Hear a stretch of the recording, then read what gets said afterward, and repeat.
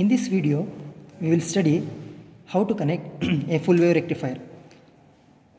Unlike half wave rectifier, full wave rectifier requires two diodes, diode 1 and diode 2. And we have a transformer similar to half wave rectifier 909 transformer and a load resistor RL. Now we will show you how to connect a full wave rectifier. As I mentioned, full wave rectifier requires two diodes D1 and D2. So now I am taking diode D1. So cathode, anode. This one is cathode and this one is anode. So transformer has three terminals here. As we are mentioning, this is 909 positive, ground and positive. Since we are using two different diodes, both the diode should be given supply from two positive terminals of transformer. So 1 9 I am connecting it to anode of diode D1.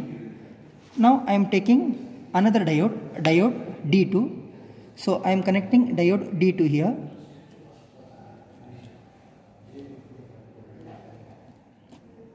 So for this diode, so we are connecting the another 9 that is positive part of the transformer. Now both the cathodes are connected to same point and 0 is connected to ground. Now I am taking a load resistor RL. So in this point both the cathodes are meeting. So cathode of diode 1, cathode of diode 2 and this one is load resistor RL. Similar to half a rectifier, here we are giving a AC signal. So in the CRO I am using two channels, channel 1 to check the input, channel 2 to check the output. So first we will see what is the input. So input is a AC signal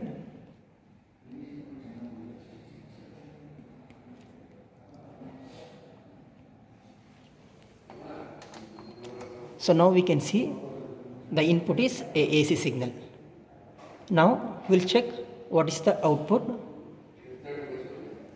So I am checking the output and observing it in channel 2. So where the cathodes of both the diodes are meeting and the load resistance is there in that point we have to connect positive terminal of CRO that is the probe and the negative is connected to ground. So the output is in channel 2. So we can see here we are getting a full wave rectified output. So during positive half cycle diode D1 conducts and during negative half cycle diode D2 conducts and again in the next positive half cycle diode D1 conducts and negative half cycle diode D2 conducts. So this conduction will continuously happen and we will getting the output for entire 0 to 360 degree input cycle. So first we will find out what is the value of Vm. So first let me check whether it is in the ground or not. Yes, this is with respect to ground. Now when I release the ground, I have to measure the value of Vm. So the Vm here is 1, 1.2, 1.6 and 1.8. Since I am using channel 2 to observe the output 1.8 into 5 so 9 volts is my VM. Now I will show you how to calculate ripple factor of full wave rectifier without capacitor filter. Just now we found VM so 1.8 into 5 9 volts. Now we will calculate VDC. In full wave rectifier we have the formula VDC equals 2 VM divided by pi. VM is 9 volt so 2 Vm by pi is 5.729 volts. So now we are finding VRMS. VRMS is given by the equation Vm by root 2. Vm is 9 volt. By root 2 we get 6.36 volts. So ripple factor is given by the formula under root of VRMS divided by VDC whole square minus 1. Since we found VRMS equal to 6.36 and VDC 5.729 whole square minus 1 under root. So we'll get 0.48 which is the ripple factor of full wave rectifier without capacitor filter.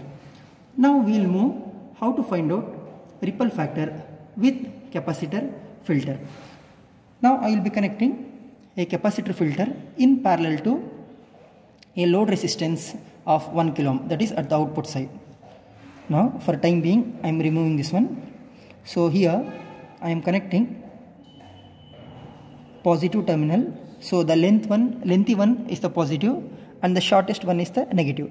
So positive is connected to the, the junction and the negative is connected to the ground. So positive and the ground. Now I am checking the output at the same terminal.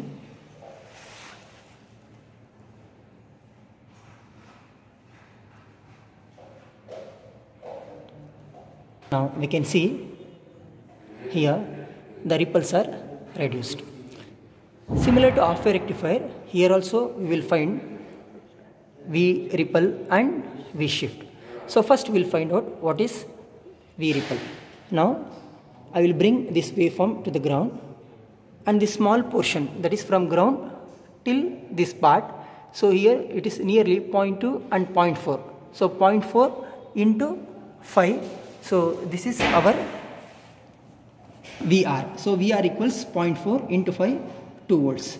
So now we'll find out V shift. So before finding the V shift, let me bring this one into the ground. So when I release, so the waveform shifts upwards. So if I find out the lower value here, so it is 1, 1.2, 1.4. So now the V shift will be 1.4 into 5. So this is 7 volt. So VR is 2 volts, V shift is 7 volt.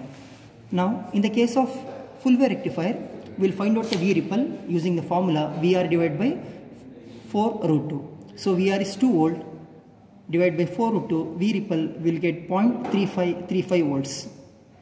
And next we will find VDC ripple. So VDC ripple equals V shift plus VR divided by 2. So we get 8 volts.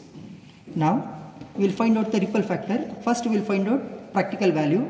So practical ripple factor is given by the equation V ripple divided by VDC ripple. V ripple is 0.3535 volts divided by VDC ripple 8 volt. So I have got 0.044 as practical ripple factor with capacitor filter in the case of full wave rectifier. And we can clearly see here when we have not used a capacitor filter the ripple factor was 0.48 when we use the capacitor filter it is reduced to 0.044. Now I have to check out this practical ripple factor with theoretical value. We have the formula to find out theoretical ripple factor. Theoretical ripple factor equals 1 divided by 4 root 3 F into C into RL. Here one has to make the note. In the case of half wave rectifier it was 1 divided by 2 root 3. In the case of full wave rectifier it is 1 divided by 4 root 3 F into C into RL. 4 root 3 F I have taken frequency of the AC that is 50 Hertz. C is 47 microfarad and RL 1 kilo ohm. The answer what I will going to get is 0.0614.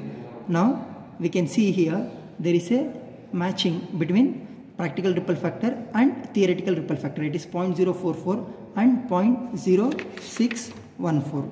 So if you observe the output waveform in the case of full wave rectifier this is the input signal and this one is the output. So here we can clearly observe for both the cycles that is for positive half cycle diode conducts and during negative half cycle also diode conducts. This is diode D1, diode D2, D1, D2, D1, D2. So the cycle continues. That means for complete 0 to 360 degree input cycle the diodes will be conducting and we will be getting full wave rectified output. Thank you.